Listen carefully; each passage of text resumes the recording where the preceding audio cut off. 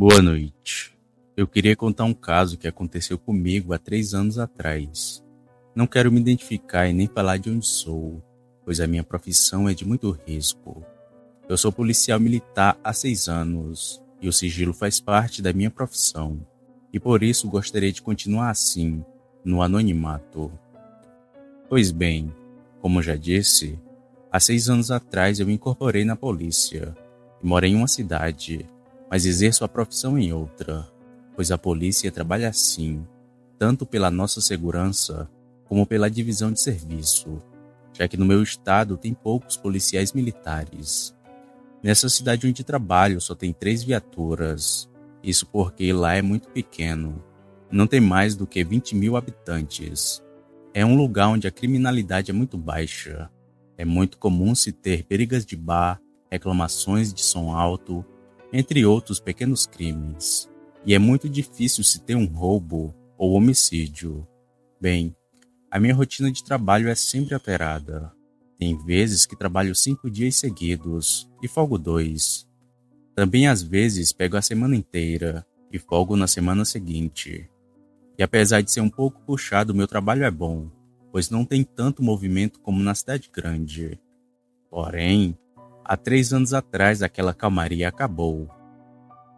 Tudo se deu início em março de 2019 as denúncias sempre chegavam até nós a partir das 10 horas da noite, e tinha algumas que eram às 4 da manhã, sempre com as mesmas características.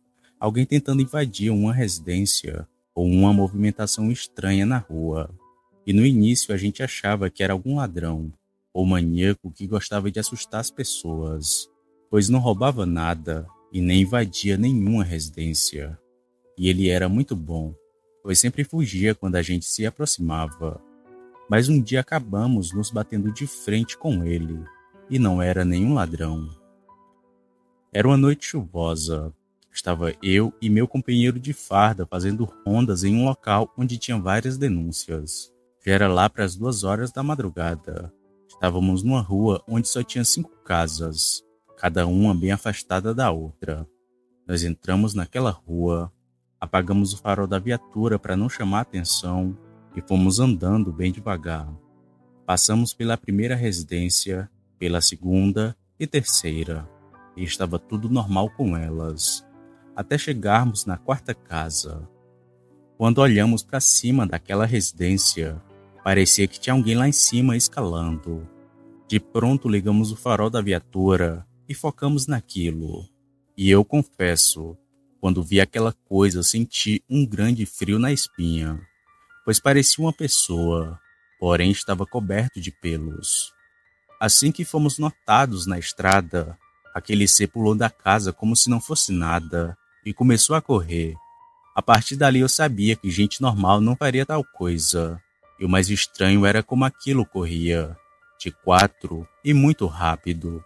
Na hora falei para o meu amigo: Acelera, que hoje a gente pega esse engraçadinho. Eu ainda tinha a esperança de que aquilo era gente vestido com uma roupa e que estaria tentando assustar a população, mas infelizmente não era.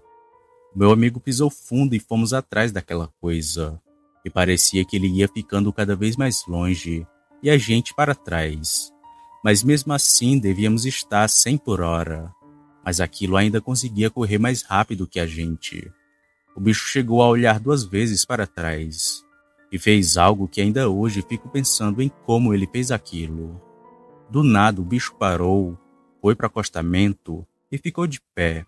Logo depois pulou a cerca de mais ou menos dois metros.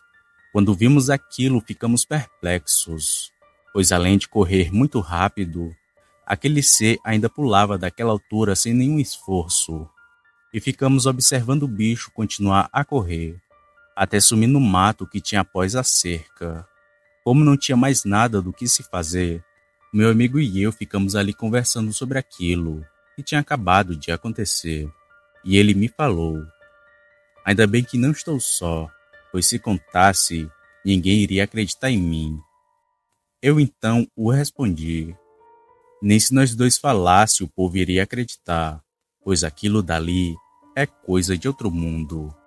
Ficamos um pouco em silêncio olhando para aquela mata, e do nada escutamos um uivo estridente vindo daquele matagal. O meu amigo, que estava com um pouco de medo, me pediu para sairmos dali, e após se ajeitar dentro da viatura, a gente foi saindo.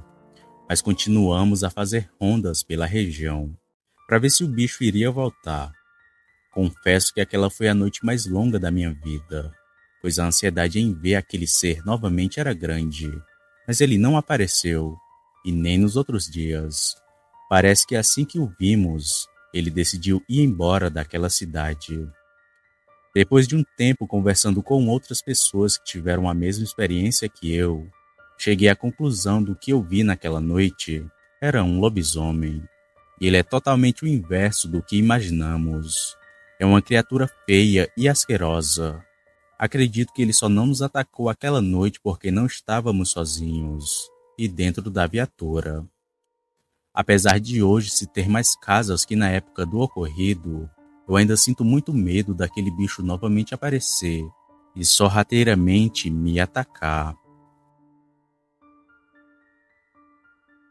Se você chegou até aqui, significa que gostou do vídeo ou que me aturou por longos minutos. Se tiver gostado, eu convido a se inscrever no canal, apertando no botão vermelho abaixo Ative também o sininho para não perder nenhuma notificação de vídeo, já que postamos diariamente. Deixe o like para fortalecer o canal e compartilhe o vídeo para que outras pessoas vejam e assistam. Fazendo isso, vocês não só estarão ajudando o canal, mas também a mim. Me despeço de todos e fico por aqui. Fiquem com Deus e até a próxima.